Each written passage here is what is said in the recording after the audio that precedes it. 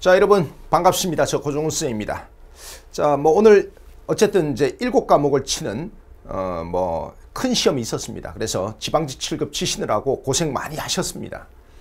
아마 이제 올해 유난히 어 이제 국가직이나 지방직을 합격하고 나서 어 내친 김에 어 지방직 7급 서울시 7급까지 달리시는 분들이 유난히 많았습니다. 자 그분들 이제 대장정이 끝났습니다. 어, 정말 고생 많이 하셨다는 말씀 꼭 드리고 싶고요. 뭐 전체적으로 지금 이제 뭐 1시가 지금 조금 넘었습니다. 시험이 끝난 지가 지금 한 어, 4, 50분 정도 지났는데 음, 제가 가다반은 이제 올려드렸죠. 근데 이제 뭐 저도 이제 가다반을 이렇게 내면서 보니까 문제가 너무 쉬워서 야 이걸 무슨 가다반을 내야 되나 뭐 이런 생각도 좀 사실은 좀 들더라고요. 아니 세상에 상식적으로 그래도 명색이 7급인데 아 7급이 9급보다는 시험이 어려워야 될 거 아니야.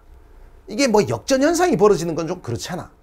올해 지방직 9급보다는 제가 봤을 때 체감적으로 5점 더 쉽다. 지방직 7급이 한국사로 놓고 보면 지방직 7급이 지방직 9급보다 5점 정도 더 쉽다. 이렇게 볼 수가 있겠습니다. 올해 지방직 9급도 좀 쉬운 편이었거든요. 근데 7급, 자, 이번에는 뭐, 뭐 솔직히 뭐 이걸 가지고 뭐 소방직 수준이라고 하면 내가 좀 조금 오바를 한 거고 법원직 수준이에요. 법원직 수준. 그러니까 우리 한국사가 엄청 쉽게 나온 게 법원직이잖아. 이 법원직 수준입니다. 그래서 이제 굉장히 쉽게 나왔다. 자, 그래서 이제 어 뭐 하나 정도까지 우리가 틀릴 문제가 없긴 해요. 없긴 한데 사람이니까 140분 동안 뭐 140문제 풀다 보니까 뭐 시간 조절이 잘 안 돼서 급하게 풀다 보니까 한 문제 정도는 틀릴 수가 있다 이것이. 그렇지만 이 정도 문제를 두 문제 정도 틀린다. 이건 뭐 매국노입니다. 매국노. 이건 뭐 변명의 여지가 없습니다. 변명의 여지가. 틀린 문제가 진짜 하나도 없거든요. 자, 근현대사 비중은 평소보다는 조금 높습니다. 음, 8문제가 나왔어요. 아무튼 간에 제가 지금부터 여러분들한테 설명을 좀 드릴 텐데 이게 좀 사실 뭐 설명할 거리가 별로 없어요. 여러분들이 뭐 조금 헷갈렸을 법한 문제가 한 두세 문제 있긴 있어요. 있긴 있는데 뭐 그것도 이제 문제 정황을 잘 살펴보면 뭐 답이 이거일 수밖에 없는 것이. 자, 여러분, 어, 제가 뭐 7년째, 8년째 지금 외치고 있습니다. 놀랍고 신비한 공부는 이제 그만. 믿음 천국 불신지요. 아마 이제 이번에 왜 올해 국가직 7급도 이제 한국사가 좀 쉬웠거든요. 근데 설마 설마 했는데 뭐 지방직 7급이 지금까지 어렵게 나온 적이 별로 없으니까 저는 뭐 평이하게 나올 거라고 생각했는데 이렇게까지 쉽게 나올 거라고는 제가 사실은 좀 생각 못 했거든요. 너무 쉽게 나와서 저도 뒤통수 한 방 좀 맞은 느낌이에요. 자, 그래서 이제 뭐 한국사에 좀 이렇게 자신 있었던 사람들은 어, 좀 많이 좀 허탈해 하지 않았을까. 뭐 듣자니 이제 뭐 영어 빼놓고는 다 쉬웠다. 뭐 그러면 합격권이 어 700점 중에서 이제 드디어 600점 넘어가나요? 어 600점 넘어가면 어, 상당히 좀 쉬운 편에 속하는데 뭐 지금 이 분위기로 봤을 때는 거의 600 한 뭐 2, 30점 뭐 커트라인이 600 한 2, 30점 나오는 곳도 있을 수도 있겠다. 80점대 후반, 80, 평균 88, 89? 이 정도 선에서 어 좀 뭐 이렇게 진짜 나올 수도 있겠다. 그렇다면 뭐 거의 뭐 한 620점에서 630점, 뭐 630점 정도는 좀 안심하고 620점부터는 똥줄 타고 뭐 이런 분위기 아닐까 뭐 이런 생각도 좀 들, 들어요. 자 여러분 지금부터 한번 가겠습니다. 어 지금 이제 뭐 보내주신 분이 이제 사, 이게 지금 시험지 상태가 좀 조, 조금 안 좋습니다. 어, 제가 이제 아직 깨끗한 문제지를 구하지 못했어요. 자 갑니다. 어 제가 이제 비책형을 기준으로 설명을 좀 드릴게요. 비책형. 자, 한번 보시겠습니다. 뭐 1번은 뭐 고산리식 토기. 그러니까 이제 요거는 이제 신석기 문화니까 쉽게 정답이 가락바퀴. 요게 나오는 거고요. 그다음 이제 2번은 어 뭐 시대 순으로 어 나열하라는 것인데 뭐 당연히 뭐 기본 창해난. 요게 이제 뭐 통일 신라 시대니까. 자, 그다음 이제 그리고 나서 어 김윤우가 이 살리타를 사살한 게 이게 1232년이니까 뭐 그게 그 다음 가고 그다음 이제 세종 1년의 대마도 정벌 그다음 이제 그리고 나서 이제 세조 때 이시의 난뭐 쉽게 정답이 3번이 나오죠. 뭐 이건 전혀 문제 없고요. 자, 그다음 이제 그리고 3번에 보시면 이 조선후기 사회경제적 변동에 대해서 고르라는 거예요. 자, 이것이 왜 틀렸을까요? 구리, 유황 등은 우리가 일본에서 수입하는 거죠. 구리나 유황 등은 일본에서 우리가 수입하는 겁니다. 그건 뭐 여러분들이 잘 아실 거고 리을은 타조법, 도조법 서로 바뀐 거죠. 알겠죠? 자, 그렇게 봐두시면 되겠고 자, 그 다음 이제 4번에 대한제국 정부가 시행한 정책 아주 쉽죠. 그래서 이제 지게 발급 뭐 요게 정답이 되겠습니다. 자, 그 다음 이제 5번 문제도 봤더니까 요거는 자, 이건 이제 그 평양 전투를 말하는 것이죠. 근초광 백제 군대에 의해서 고국원왕이 평양 전투에서 이제 어, 이 유시를 맞고 죽은 뭐그 전투를 말하는 것이니까 어, 바로 나에 들어가야 되겠죠.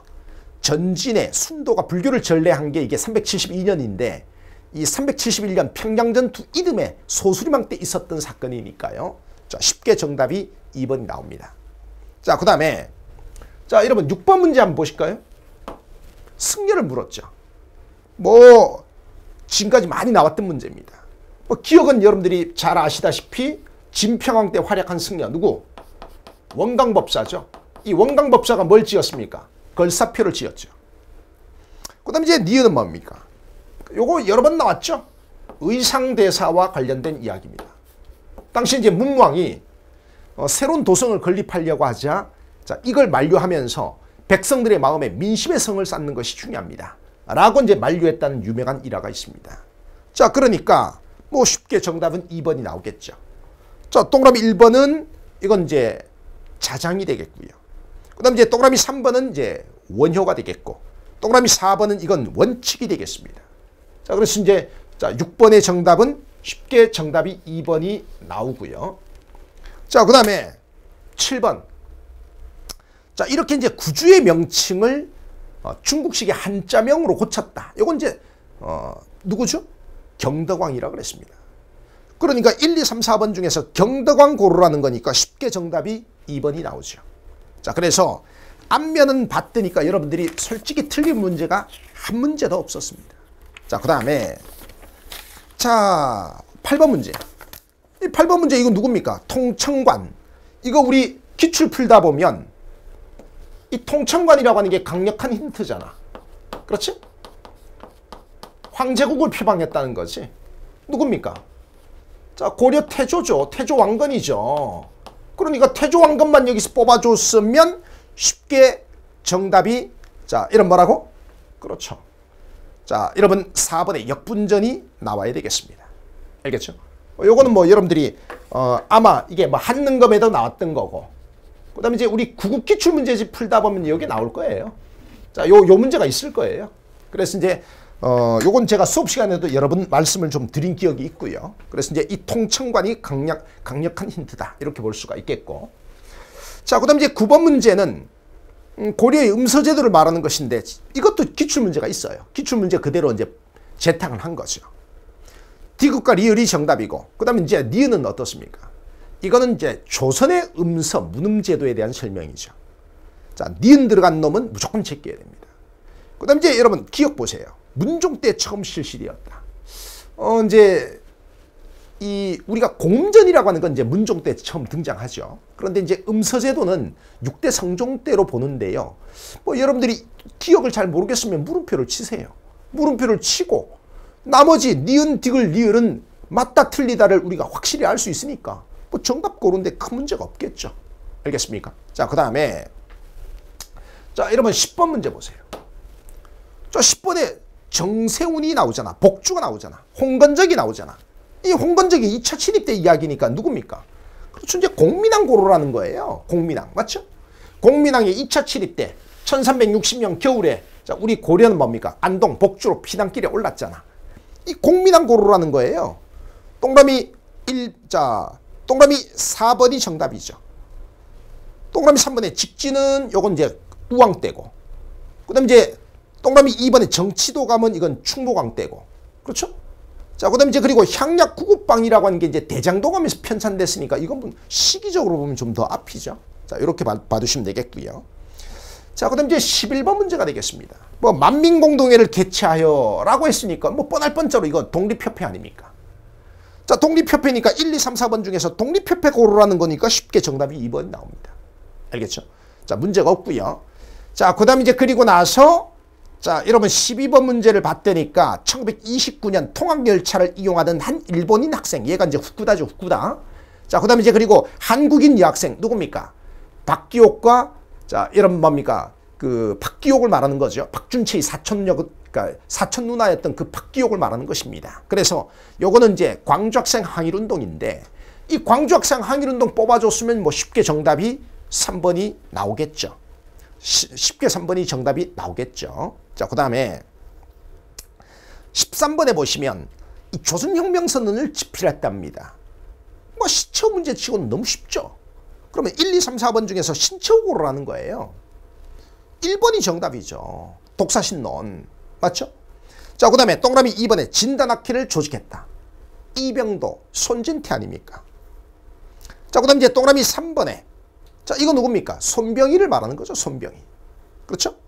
그 다음에 이제 동그라미 4번에 누굽니까? 백남은을 말하는 거죠. 자, 그 다음에 솔직히 여러분들이 그나마 제가 봤을 때 그나마 여러분들이 조금 조금 고민을 했을 법한 문제가 14번이에요. 14번에 이게 이제 향과 부곡이에요. 향과 부, 부곡에 거주하고 있는 사람들을 묻고 있는 거죠, 지금. 알겠죠? 자, 봐보세요. 이 향이나 부곡이라고 하는 것은 일반 9년이 되기에는 인구가 모자라거나 이런 곳을 이제 향 부곡으로 편제를 했어요. 자, 또는 뭡니까? 뭐 반란을 일으켰든가, 뭐 개겼든가, 뭐 이런 지역을 이렇게 강등을 시키는 경우도 있단 말이에요. 첫 번째 사료와 두 번째 사료를 종합하면 이거는 뭡니까? 향과 부곡이에요. 특히 이제 니은에서 이제 부곡이라고 하는 것을 우리가 쉽게 뽑아줄 수가 있겠죠. 자, 그러면 3번에 백정이라고 불렀다. 우리가 이제 부국민을 백정이라고 부르진 않죠. 그러니까 양인 농민을 보통 이제 우리가 백정이라고 합니다. 그렇죠? 그 다음에 이제 그리고 동그라미 4번에 자, 요건 뭡니까? 이건 노비에 대한 설명이지. 자, 그런데 동그라미 2번은 이건 무조건 틀렸어. 왜? 우리가 향수 부국민의 사회적 지 아주 중요하잖아. 일반 군현민에 비해서 더 각한 수치 부담을 졌다. 맞죠? 그 다음에 이제 관직 진출에도 일정한 제약을 받았다. 수엠이 맨날 이야기하는 그 유청신의 사료가 그거잖아요. 그 다음에 또 뿐만 아니라 거주 이전에도 제한을 받았다. 맞죠? 자, 그러면 동그라미 1번은 이거는 맞잖아요. 일반 군형과는 달리 향소 부곡은 뭡니까? 향리의 지배를 받았죠. 여기, 여기에 있는 사, 람이 향리고 여긴 부곡리잖아. 향리나 부곡리라고 말, 말이 여기서 나왔잖아. 향리의 지배를 받았다. 또는 부곡리의 지배를 받았다. 뭐, 뭐 이게 전혀 이상한 말은 아니잖아요. 아시겠죠? 여러분들이 그나마 나머지는 전부 난이도 한데 그나마 난이도 중하쯤 되는 게 제가 봤을 때는 14번 문제예요. 알겠죠? 자, 여러분 이제 지금부터 이제 15번 문제를 보시는데 자, 요 15번 문제의 동그라미 1번은 올해 또 나왔던 거예요. 어, 15세기 이제 류큐, 류큐 오늘날의 오키나와죠. 여기 사람들이 이제 자, 우리 조선에 와서 신기한 것을 바치고 자 그리고 뭡니까 뭐 불경이나 유교 경전 범종 등을 뭡니까 자 우리나라에서 얻어갔죠 동그라미 1번 우리 기본서에도 있는 문장이고 뭐 우리 기출 OX에도 있는 문장이고 기출 문제에도 나왔던 문장이고 동그라미 2번 1443년 세종 때 세종 25년 자 어떻게 했습니까 대마도주와 계약주를 맺어서 자 세견선 무역에 관한 구체적인 규정을 어, 자, 뭡니까? 다 맞죠. 그 다음에 이제 동그라미 4번도 마, 맞는 얘기고. 여러분, 이 15번 문제에서 정답으로 의심할 수 있는 건 3, 동그라미 3번밖에 없어요. 요거 언제 나왔냐면 2012년인가 문제 한번 나온 적이 있었죠. 제가 여러분들한테 잘 기억해 보세요. 우리 기본서에, 우리 기본서에도 아마 이 문장이 실려 있을 거예요. 명나라는 기본적으로 이제 3년 1공이에요. 자, 조선과 명나라의 관계는 3년 1공이에요. 그 다음에 이제 10년 1공도 있어요. 그러니까 이제 10년마다 명나라에다가 조공사제를 보내는 나라가 있고 그 다음에 3년에 한 번씩 명나라에다가 조공사제를 보내는 나라가 있는데 우리 조선은 원래는 3년 1공이에요. 3년의 조공사제를 한 번 보내게 돼 있는 나라입니다. 원래 우리 우리 조선은 명과의 관계가 그래요. 근데 실제로 우리 조선이 뭡니까? 자, 그렇죠. 수시로 조공사제를 보냈죠. 알겠죠? 자, 그래서 예, 동남이 어, 3번은 태조 때 명나라로부터 1년에 3차례 이상의 정례적 사신 파견을 요청받았다. 자, 엄밀히 말하면 3년 1공입니다. 3년 1공. 자, 우리 기본서에도 이런 문장이 있긴 있어요. 알겠죠? 자, 그 다음에 그래서 이제 이 15번 문제는 정답으로 의심할 수 있는 게 정답으로 의심할 수 있는 게 3번밖에 없죠. 알겠죠? 자, 그렇게 돼 있고요. 자, 그 다음에 이제 여러분 16번. 자, 16번 이제 사실은 깨알 같은 말장난을 친 거야. 이게 처음 말장난을 친 게 아니야. 이게 뭐예요? 그렇죠. 사초하고 시정기를 가지고 장난을 쳐놨잖아. 그렇지? 시정기는 춘추관에서 편찬한 공식 업무일지란 말이야. 알겠어? 그러면 여기에 들어가는 건 뭐야? 시정기가 아니라 사초란 말이야. 동그라미 4번에 다른 건 다 좋아. 국왕과 대신이 국정을 논의할 때 예문간의 한림이 사관으로 참가하여 사초를 작성했다. 이렇게 하면 다 좋은데 이걸 시정기라고 했기 때문에 이게 틀린 거라고. 이건 근데 문제가 한두 번 나온 게 아니잖아. 우리 기출 OX에도 이런 지문이 있고 여러 번 나왔던 지문이잖아. 이건. 알겠죠? 자, 그 다음에 갑니다. 자, 17번 문제를 보시면 이게 바로 유명한 뭐죠? 사사오익계언이죠. 요건 이제 사사오익계언 문제 치고는 좀 쉬워요. 사사오, 사사오익계언 문제 치고는 좀 쉽습니다. 그래서 이제 정답이 4번이고요. 그 다음에 이제 그리고 이제 18번 문제. 이게 바로 유명한 뭐죠? 1940년에 통합된 뭐라고? 한국 독립당을 말하는 거죠. 우리가 이제 한국 독립당이 독립운동사에서 20년대부터 30년대, 40년대까지 4번인가 5번 나와요. 그런데 지금 여기서 말하는 이 한국 독립당은, 한독당은 1940년에 3당 통합을 통해서 만들어진 그 한독당을 말하는 것이죠. 그래서 이제 이게 나중에 일제가 패망할 때까지 우리 대한민국 임시정부를 지키는 자 이런 말하고 어, 어떤 그 수권 정당 그 여당 역할을 맡았죠. 알겠습니까? 그래서 이제 정답이 3번이 되는 거죠. 오케이 말이. 자 그렇게 봐두시면 되겠고요. 자 그다음 이제 19번 문제는 뭐 이팔 독립선언 뒤에 들어가야 될 게 뭐겠습니까? 이팔 독립선언이 1919년 2월 8일이고 그 다음에 60만세 운동이 1926년이니까 요 사이에 들어갈 수 있는 건 4번에 대한민국 임시정부 수립밖에 없죠. 동그라미 1번 대한광복회 1915년이잖아. 동그라미 2번 국가총동원법 1938년이잖아. 동그라미 3번에 독립의군부 1912년이잖아. 그렇죠? 자, 그 다음에 갑니다. 20번. 뭐 요건 뭐 안 봐도 비디오죠. 미소 공동위원회입니다. 미소 공동위원회. 여기 들어갈 수 있는 게 미소 공동위원회죠. 문제 좀 미소 공동위원회 문제 치고는 좀 쉬워요. 알겠죠? 자, 여러분. 이 전체적으로 봤을 때 전체적으로 봤을 때 여러분들이 그나마 좀 문제를 풀면서 깔끔하게 똑똑 안 떨어진다라고 느낀 게 14번, 15번 정도일 거예요. 그러니까 14번, 15번을 제외하고는 뭐 그렇게 특별히 고민할 만한 문제가 아예 없지 않습니까? 알겠죠? 이 정도면 이게 7급 시험으로는 제가 봤을 땐 변별력을 좀 상실했다. 그러니까 좀 가오 떨어지게 문제를 냈다는 거지. 그 다음에 이제 9번, 이 정도가 이제 9급 시험이라고 하면 이 정도라면 좀 쉬운 편에 속해요. 9급 시험이라고 하더라도 이 정도면 좀 쉬운 편에 속합니다. 구준생도 이 정도면 95점 만점 찍어야 됩니다. 알겠죠? 뭐 심지어 뭡니까? 법원 준비하는 사람들, 뭐 소방 준비하는 사람들 그런 친구들도 이 정도 문제는 제가 봤을 때는 95점 만점 찍어야 됩니다. 자, 여러분 어, 좀 변별력을 좀 상실한 자, 좀 너무 쉬웠다. 어, 저는 뭐 내년이 사실상 국가직 7급과 지방직 7급이 내년이 사실상 마지막 시험인데 뭐 저는 내년에도 뭐 한국사에다가 변별력을 주고 어렵게 낼 것 같지는 않아요. 뭐 이렇게 된 이유가 뭐, 뭐 여러 가지 설이 있겠죠. 뭐 곧 없어질 과목이라 쉽게 냈다. 뭐 이렇게 분석할 수도 있겠고. 그다음에 이제 한국사 유독 한국사와 관련해서 이제 한국사 출제와 관련해서 뭐 정답 시비도 있고 뭐 그게 소송까지 가서 이제 엎어진 경우도 있고 뭐 그러다 보니까 어 좀 이렇게 좀 그 뭐랄까 좀 이렇게 좀좀 평이하게 문제를 내는 자, 좀 문제를 좀 확실하게 그러니까 이게 시비가 안 생기게 문제를 내, 내려다 보니까 이게 좀 너무 쉽게 내는 거 아닌가 뭐 이런 생각도 좀 듭니다. 자 여러분 어, 고생 많이 하셨고요. 자 여러분 이걸로 이걸로 지방직 7급 해설 강의 모두 마치겠습니다. 고맙습니다.